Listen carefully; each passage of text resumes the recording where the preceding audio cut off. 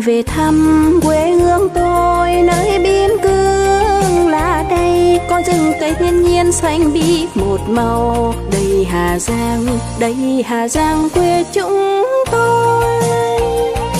Gỗ vùng cao về xuôi thay đổi mới thăm tình nghĩa miền xuôi với miền ngược. Có ai về khơi thêm nguồn hàng, mời lên thăm đây hà giang. Ôi